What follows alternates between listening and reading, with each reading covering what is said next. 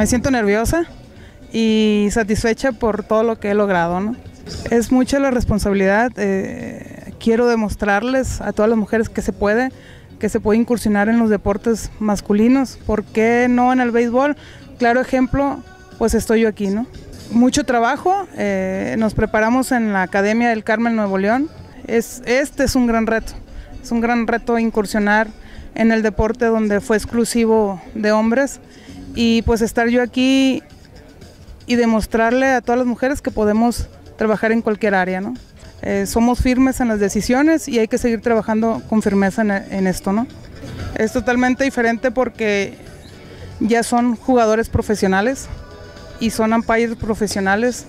Eh, mi cuarteta donde voy a trabajar son umpires reconocidos en su trayectoria y, y, por qué no hacer la trayectoria igual yo también como mujer, ¿no? Dentro de esto y que sea largo la carrera.